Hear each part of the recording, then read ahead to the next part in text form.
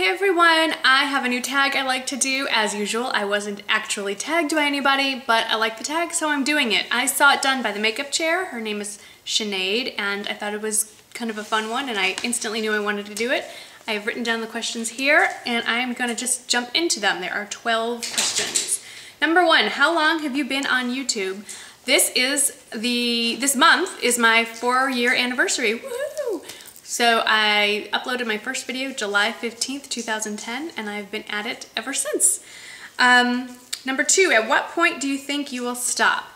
I, my hair is a disaster. Okay, um, I don't know. I, I don't have any plans to stop. You know, things change, life changes, things happen, but right now there's no predictable end in sight. I'd like to do this as long as it's fun. That's when I'll stop, when it's not fun anymore. Number three, the best thing.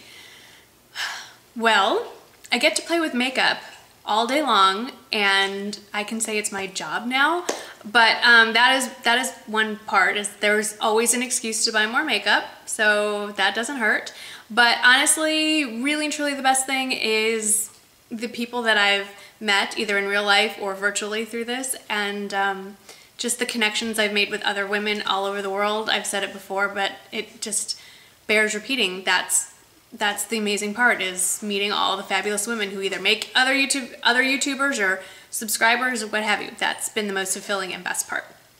The worst thing. I mean, honest, like in the scheme of things, there's no worst thing, you know? I mean, this is a fun thing to do.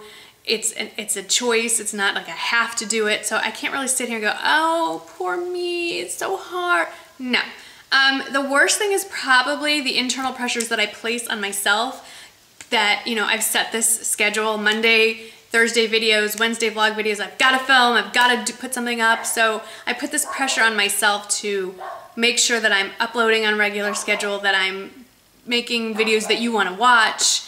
Um, that's probably the worst thing is the pressure I put on myself because I don't get it so much from you all out there. Although if I'm late on a video, I will get comments on my Facebook page like, I woke up this morning on Thursday and your video wasn't there, where is it? Sorry, life happens sometimes. And um, yeah, so that's probably the worst part. And then the next worst part would be the occasional not so nice comment that I get on a video or a tweet, whatever. But they're not even really that bad. And frankly, lately they've just, to me, been hysterical. So that's really not that bad.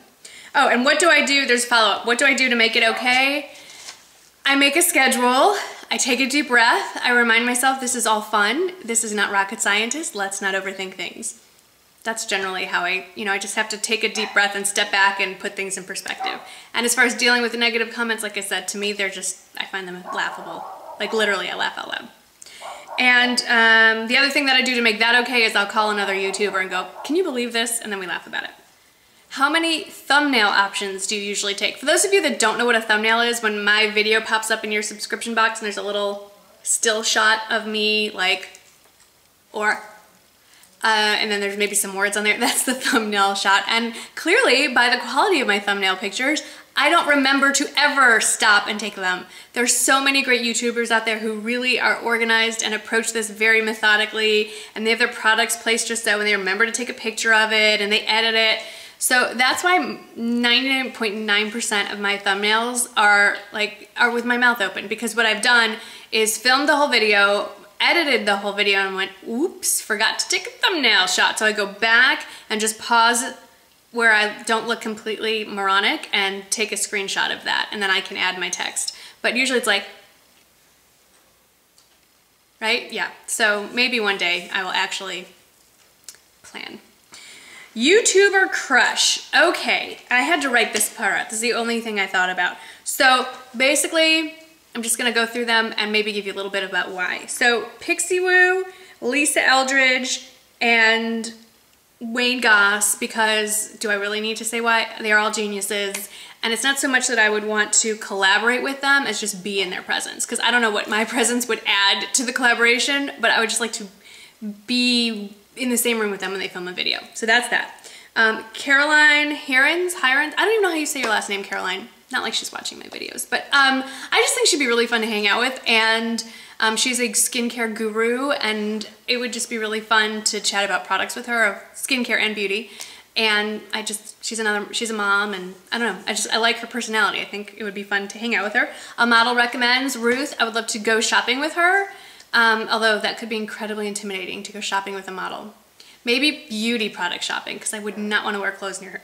That sounded, no, it's not like I want to shop naked with Ruth. I just don't know if I want to go clothes shopping with Ruth. Emily Noel 83 and Kristin Gehm. I would love to collab with them because like the same with the British people. They would be fun to hang out with in real life and I think it would just be fun. I don't even know if we had to do anything beauty. We could just go out to dinner and film that. I think that would be a blast. Miss May 27 Sani. Um, I would love to do a collab with her. I don't know what the heck I could do with her, but um, again, more to just be in her presence. And of course that would entail me having to go to Paris. So that wouldn't be so bad. Laura, who doesn't have a YouTube channel anymore, technically, she's a blogger. She used to be known as Lollipop26. Now she writes a blog called Buy Now, Blog Later. And Simone from Simone Scribes, they're out in Dubai. And it would just, I wanna be in, I wanna be in Simone's vlogs. Laura's in them too sometimes. So we could just all vlog together. Uh, Michele1218 and Lisa SZ09. Michelle is actually a dear friend of mine in real life, although we've never actually met. We talk on the phone a lot and text. Lisa I've met and like an idiot, we just, well, we really didn't have time. Um, we never actually filmed anything together. So I think it would be great to find to be with them in the same room and film a video. And Pretty Shiny Sparkly is a blogger and YouTuber here on YouTube, on YouTube, duh. And she lives in Houston and I just think we'd hit it off. I, I, think I really just want to collaborate or film videos with people that I just want to hang out with in real life. And then lastly, they both technically have YouTube channels. So um, Colleen Rothschild and Zoya. I would love to um, go to their places of business and interview Colleen on film on camera and interview the people at Zoya and make video like that. So that was a very long list, but that was who that those are my YouTube. That was my. Um, oops, you know what? I, I combined two. It was YouTuber crush and who's on your collab wish list. And frankly, it's the same list. So there you go. That's six and seven together. Um, eight, what are you wearing on your bottom half? Jeggings. It's gonna be hot, like 97 degrees, so I don't know what I was thinking, but I'm kind of bloated. And I just wanted to be a little comfy today. So I'm wearing a very loose top and just basically leggings, so I don't have to work too hard. How long until you actually click record? So that's like how long does it take me to set up and get myself prepared and get my products together and then click record. Not long enough apparently. Um, as long as it takes for me to turn on the overhead lights and open the, the shade and if I'm gonna be talking about products to collect them and set them down here on this table. So 10 minutes. I don't have lighting or special cameras and all that stuff, so maybe I should but I just kind of jump into it. It's kind of the fun of it. And I have no idea what I'm gonna say until I hit record either. There's no, maybe there should be some preparation, I don't know. 10, how do you feel about the YouTube community slash culture? It depends on the day. I love the viewers. Generally speaking, how could you not love the viewers? I mean, that's what keeps me going. But um, some, it frustrates me to see some of my fellow YouTubers who are pursuing this solely to be famous or get rich. I mean, I guess it was inevitable, but the reality is for very few of us is that going to happen. So if you're not doing this because you love it and you want to connect with other people, it just, I don't know, that doesn't make any sense to me. It's nice to have the perks, but I mean, that part gets to me a little bit. The, the YouTubers who lately are not, I've done rants on this, but that don't disclose things and, and lie by omission to their viewers. That really, really, really bothers me. And I have nothing against sponsor, like getting paid or getting products for free, but you gotta tell people. You gotta tell them. And if you're embarrassed to tell people, then you shouldn't be doing it. Okay, that's it. Um, what's your secret to a successful channel? I mean, I have a mid-sized channel. It's, I'm creeping up on 50,000, so I don't know if I'm the first person to be able to tell you, here's what I did to be a success. Because, you know, I think you hit a hundred thousand, half a million, then you can start giving people advice. But, um, you know, I have a healthy following, I'd say, and I don't know. I, I don't know what it is. I mean, I'd say generally speaking, be yourself, start a channel for the right reasons, and then make sure you have decent lighting and the background's clean. I mean, honestly, you'll lose viewers and that you people can hear you and that your quality's decent. Um, I don't know. I wish I knew. It, it, there's there's no magic formula, there's no secret. People either like you or they don't, and you're really not gonna know until you start.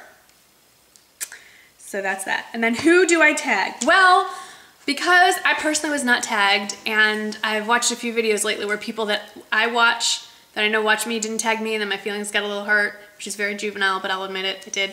I'm not tagging anybody. If you're watching this, you're tagged. Uh, assuming you make YouTube videos. And if you see this and you want another YouTuber to, to do it, then tag them for me. That is it. Thank you so much for watching and I will see you in the next video. Bye-bye. Stopped into Ulta to buy things and somehow ended up sitting at the Benefit Brow Bar. And this is, she just wiped off my makeup. And I'm talking extra loud so that you don't hear the music in the background. and